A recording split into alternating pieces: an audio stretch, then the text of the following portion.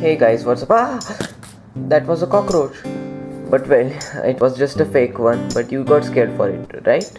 But today, what I'm going to demonstrate here is this cool origami Hercules beetle by Jeremy Shafer. Let me just zoom in for you.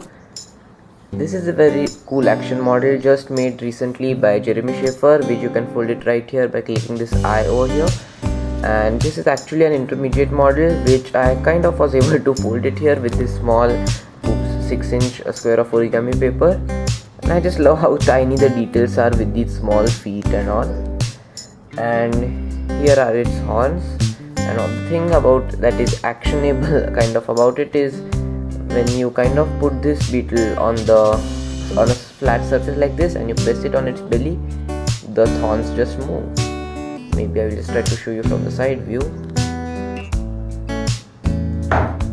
it kind of works something like that because there is this extra pointy flap right over here on the bottom which makes it work. And that was all for today. I hope you guys enjoyed this and if you are up for the challenge then you can just hold it from uh, jeremy Shafer's video. It has been uploaded recently and this was cool for the creepy model and by the way big shout out to this cockroach as well. Thanks for watching. Goodbye